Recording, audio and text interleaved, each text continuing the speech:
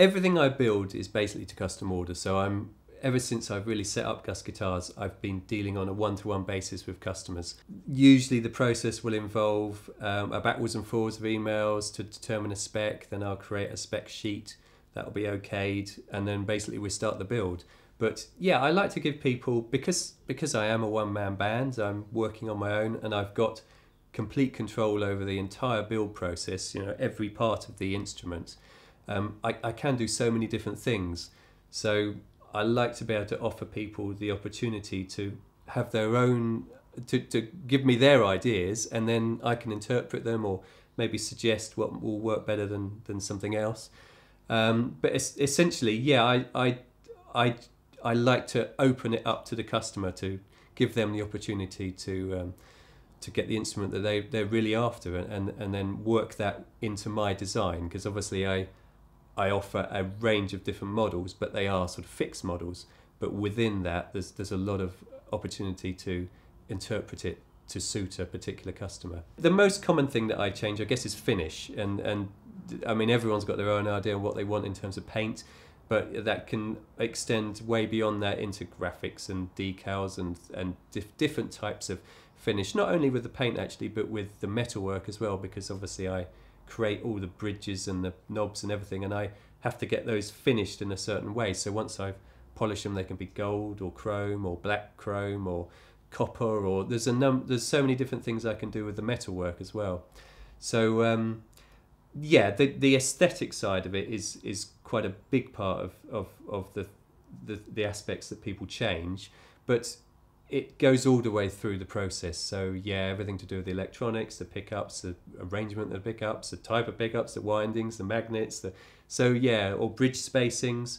I mean, that's that. I suppose is the beauty of creating everything here is that if someone wants a slightly wider or narrower bridge spacing, I can I can do that, and that's that's that's um, quite a useful thing with uh, with all types of instruments, but yeah, particularly bass. This is the bass that Prince ordered after he'd received my guitar. So a year ago, he received the guitar that I had built for him nine years before. I'd built this guitar a long time ago, the G1 Purple Special, um, with the idea of getting it to Prince. It took a long time to achieve that, but eventually it, it happened. This is last year. And very shortly after receiving the guitar, sort of a matter of days really, he was in touch to ask if I could make a bass like the guitar. Um, and that essentially became a commission, and that's what I've been working on for the last year.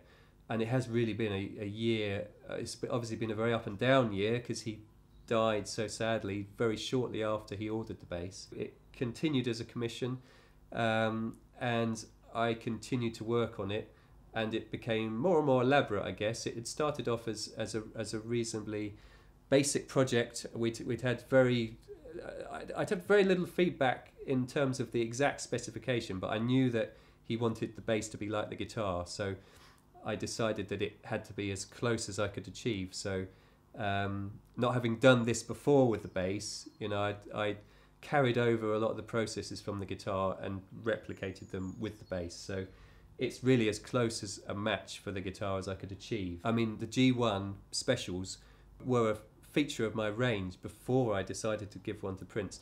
The purple special was obviously tailored for him, mostly in terms of the colour and so on. But it's it's a G1 at the end of the day. It's a G1 hardtail with a with a humbucker and a single neck um, pickup configuration. Um, so it's it's my design.